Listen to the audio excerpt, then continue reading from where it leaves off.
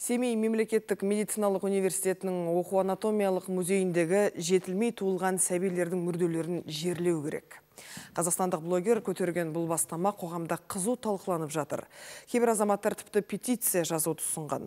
Ал Джулия Гани мұражайда 32 жылдан бері әртүрлі аурумен туған 20 сәбидің денесі қатырылған күйінде тұрғанын айтады.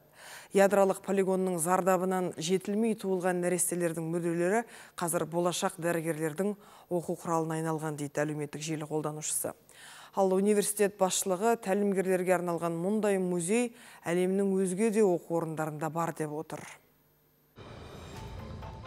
Қазақстандық блогер Джулия Ғани әлеуметтік желідегі парақшасында Семей анатомиялық мұражайындағы сәбилердің денесін жерлеу туралы бастама көтерді. Оның айтуынша 1975 жылы Семей мемлекеттік медициналық университетінің қабырғасында ашылған мұражайда туа біткен патологиясы бар 20-ға жуық нәрестенің денесі қойылған. Әлеуметтік желінің белсенді қолданушысы анасының жылуын сезбеген шақалақтар студенттердің оқу құралына айналған, сондықтан бұны доғару керек дейді. Семейде ертінді қосылған банкілердің ішінде ядролық сынақтың құрбаны болған сәбилердің денелері сақталған. Туылғалы бері оларға түрлі тәжірибе жасалды. Қаншама елдің ғалымдары мен студенттеріне көрсетілді. Бұл шақалақтар 32 жылдан бері университеттердің кішкентай бөлмесінде тұр. Зерттеуге болатын нәрсенің барлығы зерттелді. Неліктен оларды әрі қарай ұстау керек? Ал университет басшылығы анатомиялық музей студенттердің білім алуы үшін маңызды және бұл әдіс әлемнің бүкіл жоғары оқу орнында қолданылады дейді. Ал жетілмей туылған сәбилер музейге еш талдаусыз түскен. Сондықтан оларға нақты ядролық сынақтың зардабы әсер етті деуге негіз жоқ деп отыр. Әлемдегі барлық жоғары медициналық жоғары оқу орындарында бұл кең таралған тәжірибе. Өйткені студенттер өздерінің тәжірибелік дағдыларын осы ылғалды препараттарда көру керек. Бұл материалдар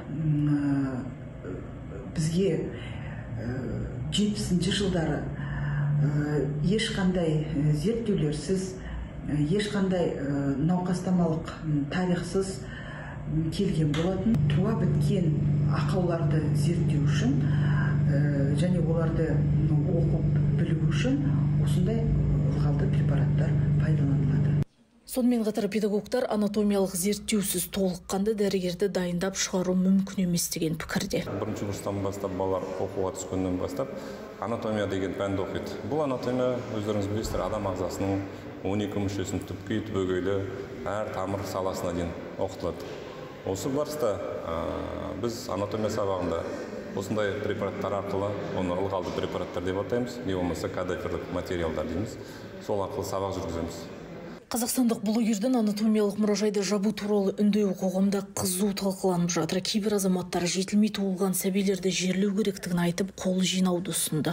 Айгүл рахымжанова ризабек ахметов информбюро абай облысы.